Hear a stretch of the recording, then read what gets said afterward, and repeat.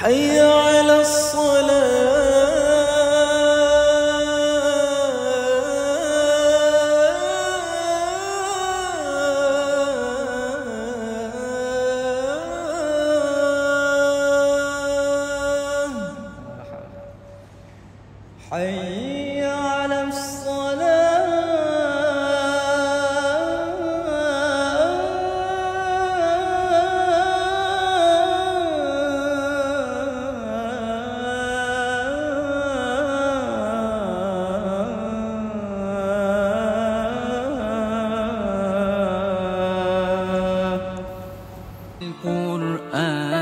سأمضي أجلو خبث الأرض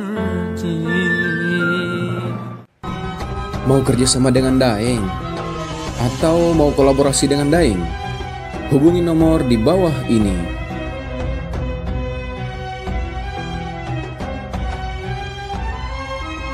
Assalamualaikum warahmatullahi wabarakatuh. Waalaikumsalam warahmatullahi. Sahabat semuanya di mana pun berada kita lagi bersama guru kita, sahabat kita Ustadz Muzammil. Antum ini yang guru saya, masya Allah. Kalau kita dengar yang suara halus ya mendayu-dayu, ah berarti beliau lah itu punya ya. Ya, kalau power menyala abangku, ini beliau khasnya, masya Allah. Kita- Barakallahu.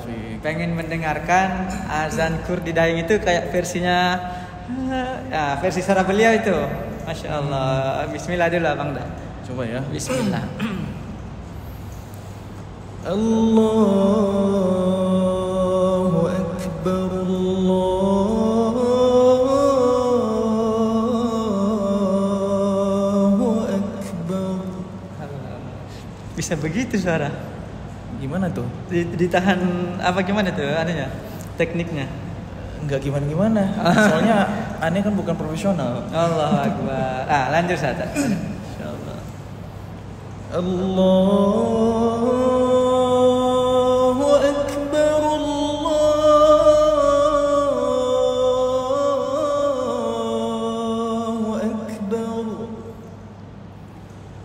أشهد أن لا akbar.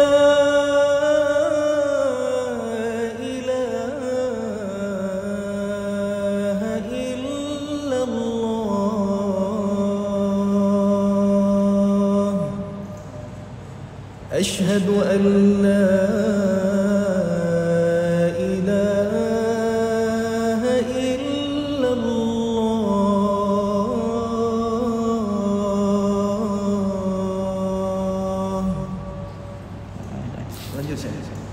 أشهد أن محمدا رسول الله.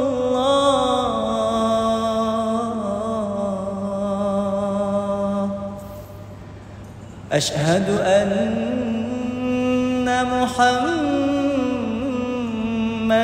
رسول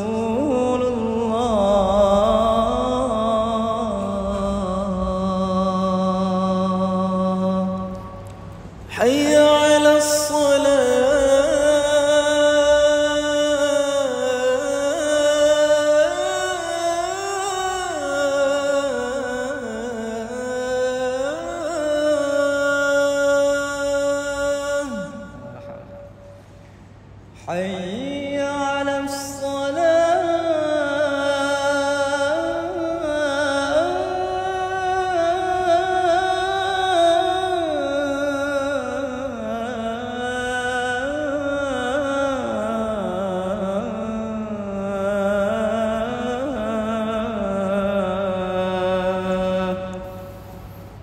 حي على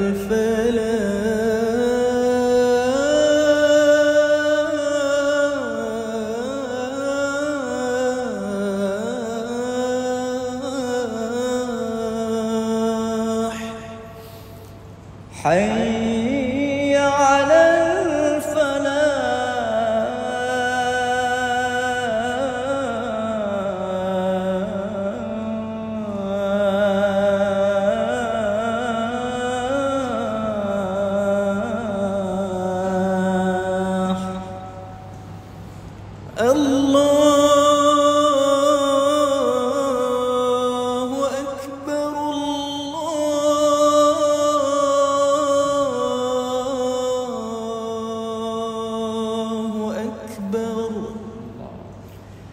Uh...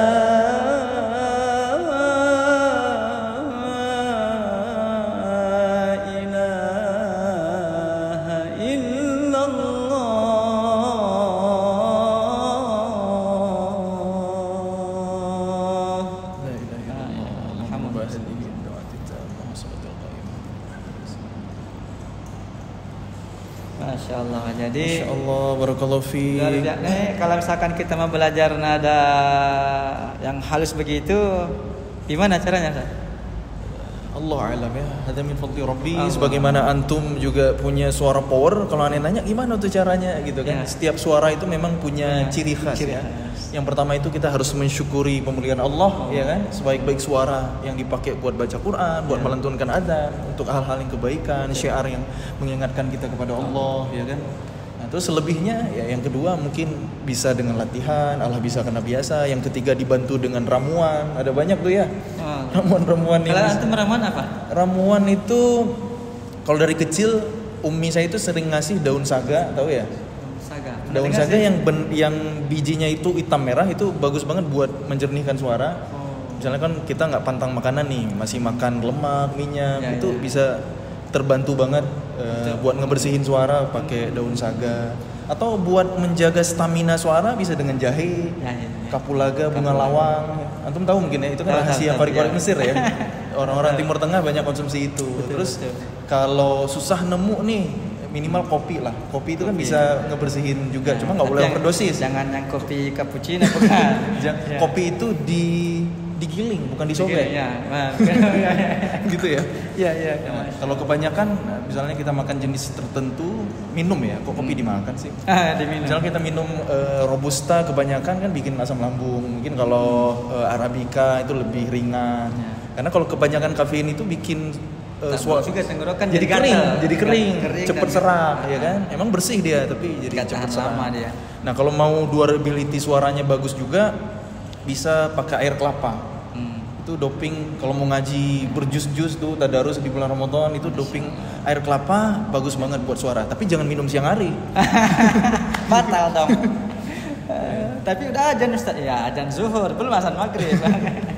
Masya Allah. Masya Allah.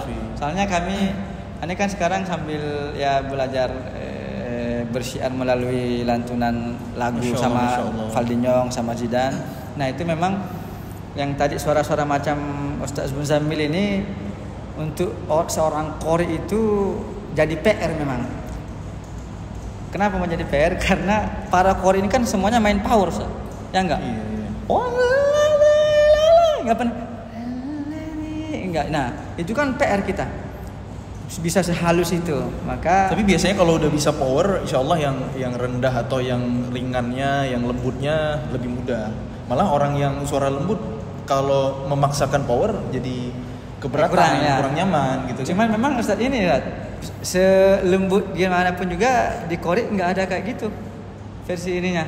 Artinya memang khasnya beliau luar sebenarnya, biasa. eh, selera orang juga beda-beda. Nah, ada orang yang beda-beda. senang tinggi melengking power, Nah. ada yang senang lembut mendayu-dayu, mungkin zauk rasanya itu lebih dapet gitu ya. Nah di Korek nggak ada Beda-beda. begitu kan? Pernah nggak misalkan? Waladina kafar yang kayak suara falset. Nah ini ini di lagu itu orang menyanyi. Oh, di nasyid boleh. Kalau di Quran kan nggak begitu. boleh, Nah jadi itu khasyum, dia. ya kan? Khasyum. Nah makanya sebenarnya oh, luar biasa ininya. Suara Masya ini Allah, ada aja Allah memang betul-betul menitipkan kelebihan di setiap jiwa manusia. Masya, Masya Allah, Masya Allah. Disyukuri saja. Betul. Karena eh, di luar kita mungkin ada lagi karakter suara yang ngebas power gitu. Oh. Nah, itu itu bagus juga itu. begitu suaranya? ada memang yang nggak bisa nyaring, melengking, nggak lembut juga tapi Alhamdulillahi Rabbil Alamin Kan ada yang gitu Oh. Tapi kalau kita nikmati eh, dengan fasahah tajwidnya yang Enak. bagus Enak juga, nikmat Saya juga Maher, Iya kan betul, ini rendah tapi Nah. kena di hati Getaran-getarannya itu Masya Allah Masya Allah. Memang getarannya di sana pindah ke sini. Masya Allah, Ah, Masya Allah. Masya Mungkin Allah. yang membacanya takut banget sama Allah Nah. gitu ya kan eh, salah satu riwayat sahabat saya lupa ya Iya. bacaan Quran terbaik yang ketika engkau melihatnya engkau takut kepada Allah engkau tahu dia takut kepada Allah Allah alam itu sih yang yang PR nih buat kita ini Betul. ya berat Jadi ya bukan hanya hati. teriak saja. bukan hanya nada saja tapi eh, tadaburnya penjiwaannya Ya, Masya Allah. yang dari hati mudah-mudahan sampai, lagi ke hati insyaallah Ya Allah. Insya Allah doakan kami teman-teman mudah-mudahan istiqomah Allah tuntun hati kami biar Amin. tetap di jalan Allah Subhanahu wa taala. Masya Allah. Terima kasih teman-teman. Ada makasih guru udah ini collab yang nggak direncanakan nggak direncanakan. Masya Allah bisa Masya Allah. ketemu di sini. Alhamdulillah. Alhamdulillah. Alhamdulillah. Jazakallah Ah. Jazakallah teman-teman. Kalau kita ada jempolmu ibadahmu. Gitu ya? jempolmu ibadahmu kalau lihat tayangan-tayangan yang bagus dakwah ceramah solawatan apa jangan lupa like and share. Subscribe. subscribe. Siap. Terima kasih. Assalamualaikum warahmatullahi wabarakatuh.